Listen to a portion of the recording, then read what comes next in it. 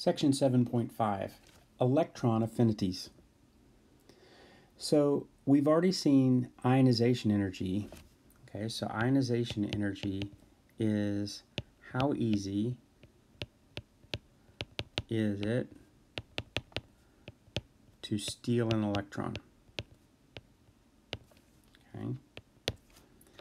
Electron affinity is how easy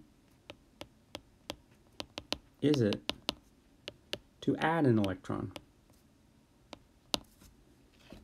So if I add an electron and I get a lot of a lot of energy back, then it's very easy to do that because that's going to happen spontaneously.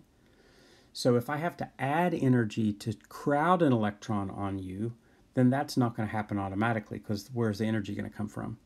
But if I can if I can steal an electron, if if I can steal an electron and you get energy back from that, then that's going to be very most likely going to happen. So electron affinity is an energy change accompanying the addition of an electron. So most of the time you're going to get money back. It's exothermic. So it doesn't take energy to do it. But there's a couple times that you will have to add energy and I'll show you how that works.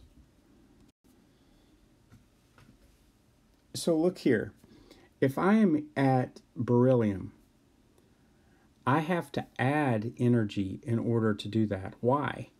Well, these two guys are in the S's and it's full. So if I add an electron, I'm going to have to put it into, or this is 2s, I'm going to have to put it into the 2p, and that's a higher energy level. Okay, so there's no place for it to go. Its room or its room is full. So if it's going to have to take that new electron that it steals and put it in a higher room, then any energy that it gets from it is going to have to be spent in housing it, and so it's not likely going to happen. The same thing is going to happen here in group 5. If you remember, there are three orbitals. Each girl gets a room first. Then once you get to oxygen, you'll have to you'll have to have somebody have a roommate. Well, that is not good because electrons don't like to be together. So, so to add an electron to a nitrogen is higher energy. You have to actually put energy into it. But if you have something like group 7, look at group 7. Chlorine is negative 349. That's the highest ele electron affinity. That means if you add an elect if you add an electron to chlorine, you get 349 kilojoules of energy back for free. It gives you that because it wants to be stable like argon. And so it's very, that's what the affinity means. Affinity means wants it or likes it. So how much does it want it? How much energy do you get back if you give it an electron? So anything in group 7 is going to be the highest. This is the highest electron affinity. Look at group 8. Group 8 is all above uh, zero because it's full. Its shell is completely full, and if it steals an electron, it's going to have to go to a new row, not just a new subshell, but a new row and put it in there, and that's too expensive. And so argon doesn't want an electron. You can't make an argon negative um, ion. It won't, just won't form it. So anything, anytime you've got a full subshell, it doesn't want one. But if you have an unfull subshell like a group 7, okay, because group 7 remembers 1, 2, 3, 4, 5.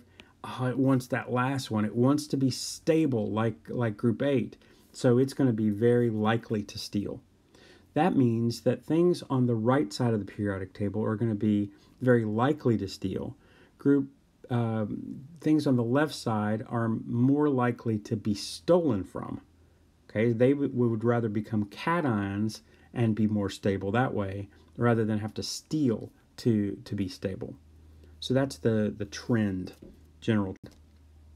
So here's a a schematic. You can see that electron affinity fluorine is very negative. You're going to get tons of money back. Chlorine is the most negative. Bromine, iodine, all of these all these group sevens are very very very uh, electron affinity. They want electrons. So if you can give them one, they'll give you money for it.